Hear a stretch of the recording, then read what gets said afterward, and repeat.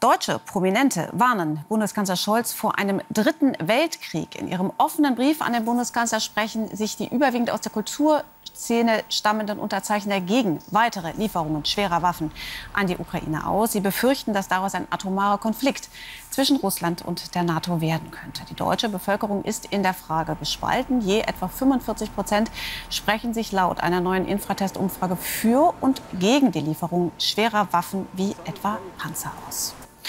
Und eine der Unterzeichnerinnen ist Alice Schwarzer. Sie ist Herausgeberin der Emma und aus Köln zugeschaltet. Und der Brief ist ja sehr prominent auf der Website der Emma äh, platziert. Frau Schwarzer, wie ist denn bisher die Resonanz darauf? Extrem überwältigend. Also wir hatten in den ersten drei Stunden auf der Emma-Website 10.000 neue Unterschriften, 10.000.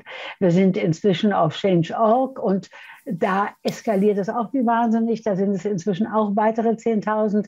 Also ähm, ich sehe mich bestätigt in der Annahme, dass diese 45 Prozent der Bevölkerung, die Sie eben erwähnt haben, Frau Losch, äh, die gegen eine Eskalation des Krieges ist, die ja automatisch äh, geschehen würde, äh, geschieht mit der Liefer Lieferung schwerer Waffen, dass die jetzt eine Stimme haben. Denn sie hatten sie bisher kaum. Man könnte aber auch andersrum sagen, der Krieg ist schon längst eskaliert. Und Sie warnen ja in Ihrem Schreiben vor einem angeblichen Irrtum. Sie sagen auch, ähm, die Verantwortung für die Eskalation eines ähm, Konfliktes geht eben auch diejenigen an, die dem Aggressor, ich zitiere jetzt wörtlich, sehenden Auges ein äh, Motiv zu einem gegebenenfalls verbrecherischen Handeln liefern würden. Aber das verbrecherische Handeln ist schon längst da. Putin hat keinen Grund gebraucht, um die Ukraine zu überfallen. Glauben Sie wirklich, dass jetzt Panzer oder Nicht-Panzer bei seiner Entscheidung für das Zünden einer Atombombe einen Unterschied machen würden? Das ist keine Glaubensfrage. Das hat ja Russland mehrfach sehr präzise angekündigt. Zuletzt äh, der Außenminister Lavrov äh, in einem wirklich äh, bedrückenden Statement, wo er sagt, also wenn eine bestimmte Grenze überschritten wird, wird Russland, wie mehrfach angedroht, auch zur Atomwaffe greifen, vielleicht zunächst zu örtlich begrenzen und so weiter. Auf jeden Fall ist es jetzt so, dass wir zwei Dinge wissen oder drei. Erstens, in der Ukraine gibt es ein unvorstellbares Elend der Zerstörung der Städte, der Verletzung und Tötung von Menschen und so weiter.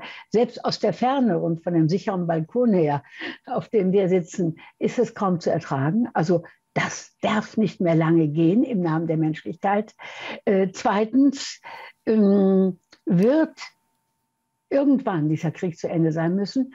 Und der Krieg kann nur beendet werden, das ist so, wenn beide Seiten Konzessionen machen.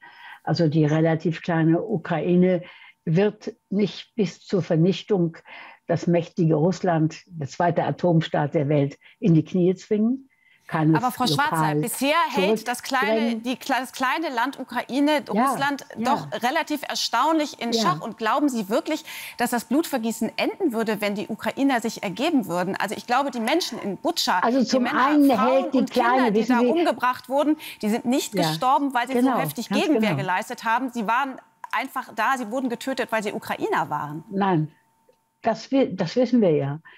Und genau darum plädieren wir, die Unterzeichner dieses Briefes und die Zehntausende von Menschen, die innerhalb von Stunden zustimmen, äh, dass dieses Leid nicht unbegrenzt fortgeschrieben wird. Wissen Sie, Frau Losch, Sie und ich sitzen hier in unseren sicheren, warmen Büros, aber da sterben täglich Tausende von Menschen. Äh, und ähm, äh, natürlich, wir sehen ja, wie für mich ist das überraschend und durchaus auch bewundernswert, natürlich, aber bewundernswert, was für ein Preis, ja. Ähm, wie die Ukraine sich wehrt und dass die Ukraine es schafft, wirklich diesen mächtigen Gegner zurückzudrängen. Aber die Ukraine kann es nicht schaffen. Wer das sagt, betrügt die Ukraine äh, das mächtige Russland endgültig in die Knie zu zwingen. Und daran wird es am Ende dieses verbrecherischen Konfliktes, der angezettelt worden ist von Putin, äh, wird es einen Kompromiss geben müssen. Damit das Sterben Aber zu diesem aufhört. Kompromiss ist Russland Und da meinen wir, dass dieser Kompromiss bereit. schon jetzt geschlossen Denn es wird ja immer weiter versucht zu verhandeln. Es sind verschiedene Politiker hier hingereist, gerade erst UN-Generalsekretär Guterres. Es wird telefoniert und es ist immer ähm, klar danach, dass Russland zu keinerlei Konzessionen bereit ist. Und nochmal, was macht sie denn so sicher, dass das Blutvergießen enden würde, wenn sich die Ukraine vergeben würde, äh, ergeben würde? Warum glauben Sie, dass dann die, Ukraine, äh, die Ukrainer weiter geschützt werden, ermordet zu werden und dass Putin nicht, wenn er nicht jetzt gestoppt wird, andere Nachbarländer überfällt? Wissen Sie, wir können erstmal, wir müssen nicht riesig spekulieren. Wir können jetzt erstmal uns die Tatsachen ansehen.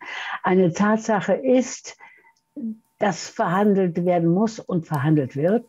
Aber Russland ist dazu ganz offenbar nicht, nicht bereit bisher. Ja, vielleicht wissen Sie mehr als ich.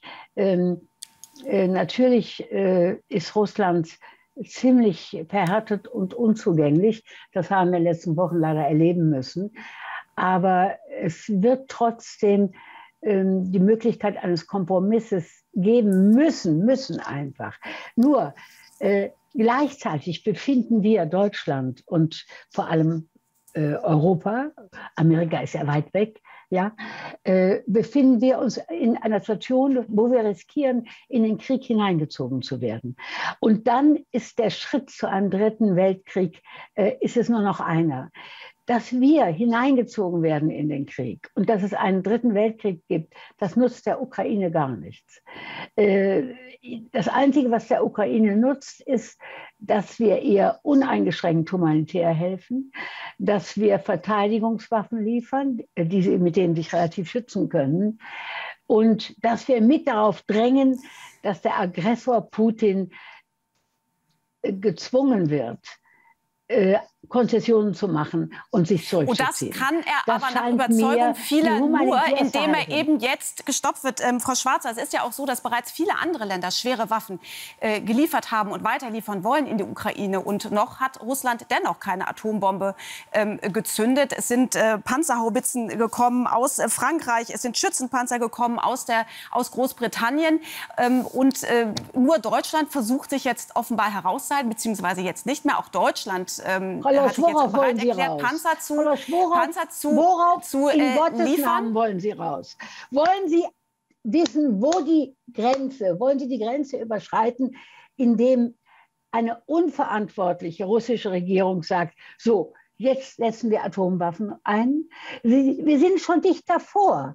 Ich meine, ich bin wirklich äh, ähm, also Frau Schwarz, ich glaube, Sie und ich und äh, niemand sonst in Europa möchte einen Atomkrieg.